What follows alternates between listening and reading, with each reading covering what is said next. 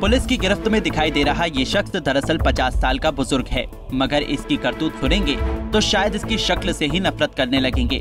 पूरा मामला बहादुरगढ़ का है, जहाँ इस आदमी ने अपने घर में सफ़ाई करने आने वाली महिला की बेटी को हवस का शिकार बना लिया, जो अभी महज तेरह साल की थी। परिजनों को वारदात का पता तब चला, जब बच्ची के पेट में अचानक दर्द होना शुरू होने लगा, जिसके बाद उसे अस्पताल में ले जाकर जाँच कराई गई, जिसके बाद बच्ची से पूछताछ की गई तो उसने अपनी आप बीती बताई। जाँच कराई गई तो पता चला कि 13 साल की मासूम बेटी गर्भवती है जिसके बाद पुलिस ने आरोपी को गिरफ़्तार कर लिया। हमारे पास शिकायत आई थी हमने एफ़ आई आर दर्ज कर ली है और आज हमने मुलजिम को अरेस्ट करके आज कोर्ट में पेश कर नाबालिग है मैम लड़की हाँ। प्रेग्नेंट भी है?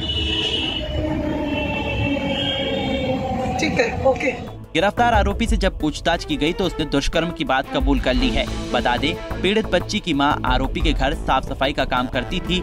एक दिन बच्ची अकेली उसके घर चली गई और आरोपी ने उसके अकेले होने का फ़ायदा उठाकर वारदात को अंजाम दे दिया।